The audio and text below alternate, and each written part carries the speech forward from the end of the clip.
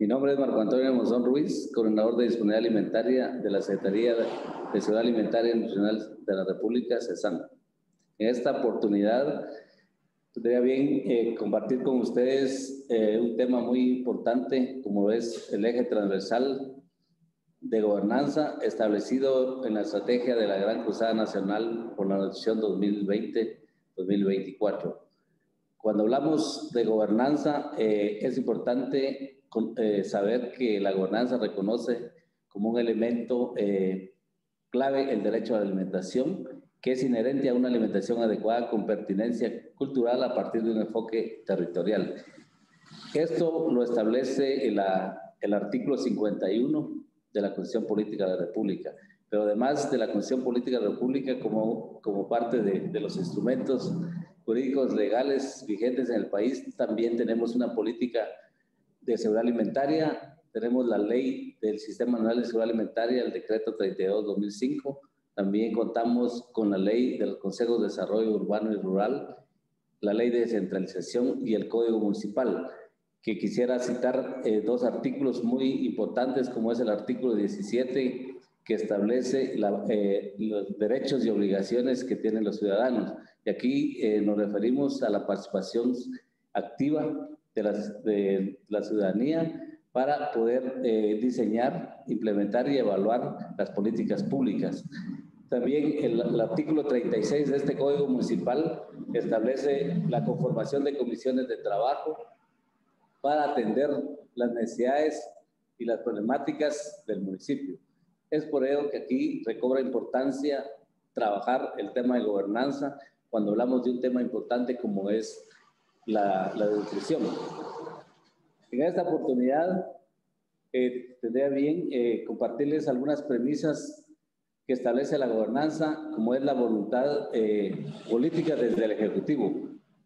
El actual gobierno, presidido por el doctor Alejandro Yamatei, eh, en su plan de gobierno se establecen prioridades y una de esas prioridades es el combate a la desnutrición. Es por ello que los compromisos surgen desde el nivel central hasta el nivel local, de acuerdo eh, a las rectorías de cada una de las instituciones que tienen un mandato eh, sectorial y que nuevamente nos va a permitir poder implementar eh, esta estrategia de la Gran Cruzada Nacional por la Nutrición. También eh, creo que la, la gobernanza eh, nos permite hacer una vinculación, una coordinación y articulación de acciones entre el Sistema de Consejos de Desarrollo y el SINASAN en los diferentes niveles, como el caso, eh, en este caso estamos hablando a nivel nacional, departamental, municipal y comunitario.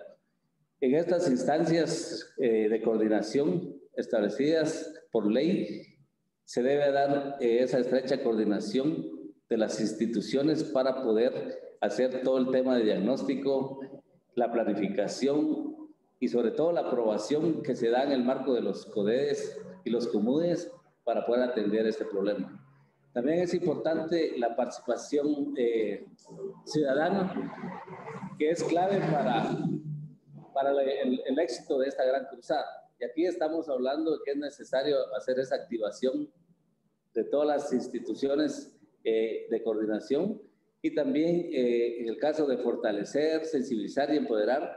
y que haya una incidencia a favor de, del tema SAN. También eh, se va a ser necesario hacer una priorización de las necesidades con base a las demandas de las comunidades, porque es aquí también donde la gobernanza cobra importancia de abrir esos espacios de participación de las comunidades,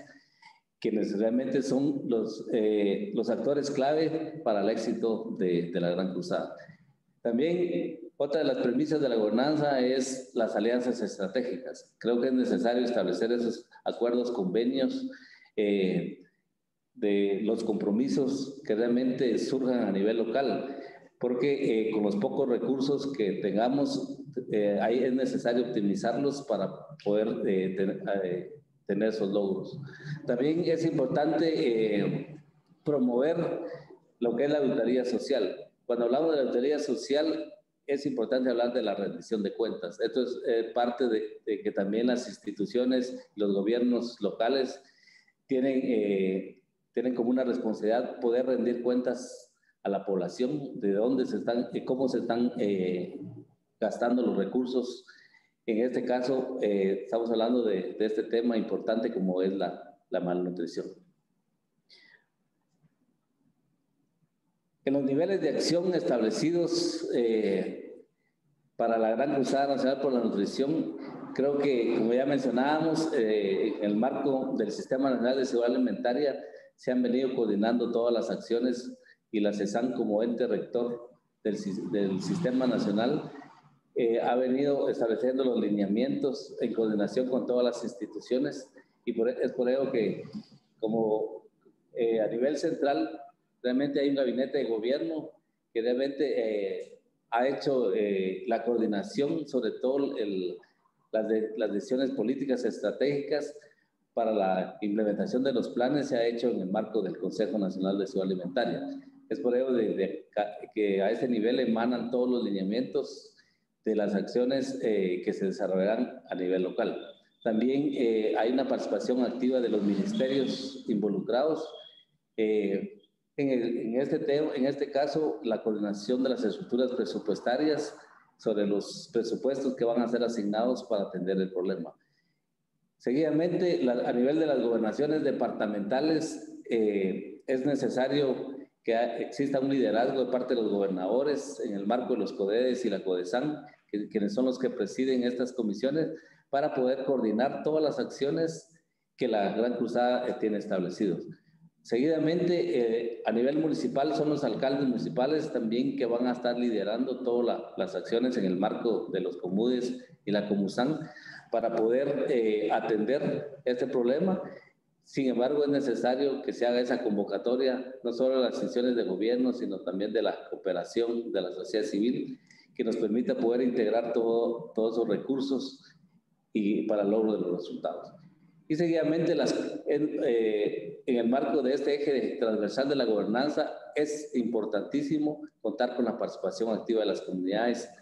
y por ende la, de las familias, porque son ellos realmente el sujeto de atención para todo el trabajo eh, que se tiene establecido en esta estrategia.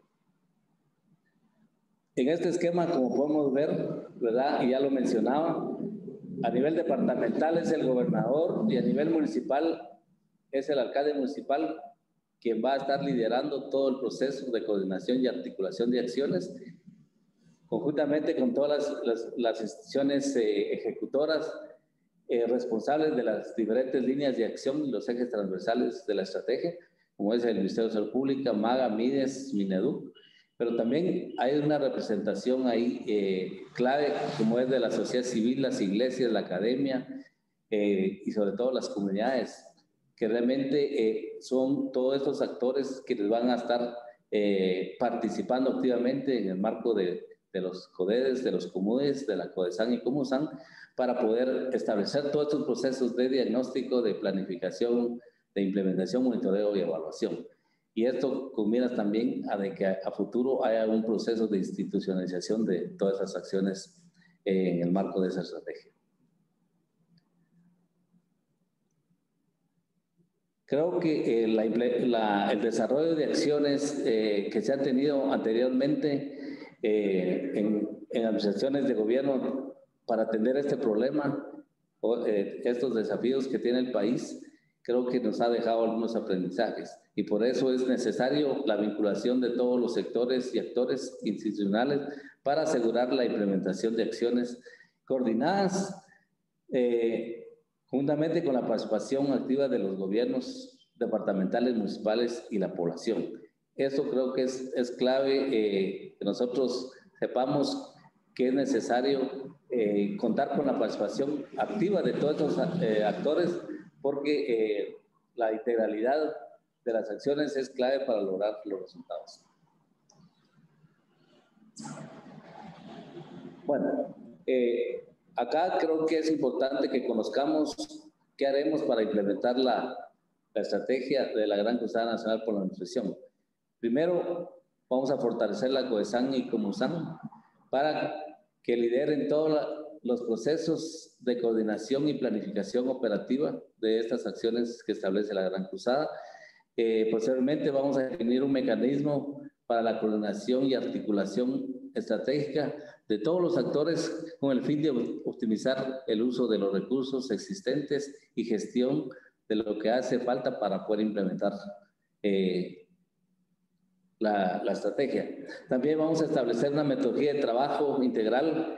con base a la información existente en los territorios y finalmente vamos a construir un plan de trabajo que integre la oferta institucional. Por eso es necesario esa participación activa en el marco de estas eh, eh, instancias de coordinación como es la CODESAN y la COMESAN.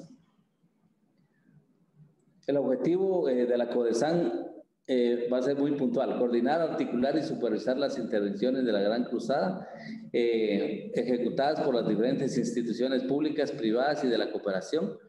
que operan en el departamento para que contribuyan a la prevención de la nutrición crónica. También eh, vamos a, a tener funciones específicas, en este caso, de las comisiones departamentales y municipales, como es el de el desarrollo desarrollar la coordinación interinstitucional y multisectorial a nivel departamental y municipal. También eh, la COESAN aquí va a tener una función muy clave como es convocar a los alcaldes municipales para conocer los avances, los logros que se tengan eh, en la implementación de las acciones. También se va a promover la, la, la formulación y ejecución de los planes operativos integrados con base a la, oferta institucional. También va a ser necesario dirigir y coordinar y supervisar eh, y evaluar las actividades y presupuestos con base a los planes eh, operativos que se han establecido conjuntamente con todas las instituciones. Creo que esto eh, va a ser necesario, es parte de la rendición de cuentas que mencionábamos, para poder conocer los avances, los logros y, y sobre todo el impacto que están eh, teniendo eh, estas acciones. Y, finalmente, pues una de las funciones también que va a tener la CODESAN y COMOSAN es informar al CONASAN, o sea, al Consejo Nacional, eh, sobre los resultados y los avances que se tengan de la ejecución física y financiera de, de todas las acciones que se han implementado a nivel territorial. Entonces, con esto queremos eh, dejar claro de que es importante fortalecer la gobernanza a nivel local, porque esto nos va a permitir que los resultados sean eh, más efectivos y, realmente las instituciones cumplan con su mandato de acuerdo a, a, los, marcos legales vigentes en el país. Así que les agradecemos mucho la, la atención y les deseamos los mejores de los éxitos de todo este proceso de coordinación y articulación que se tendrá en el marco de la Gran Cruzada Nacional por la Nutrición.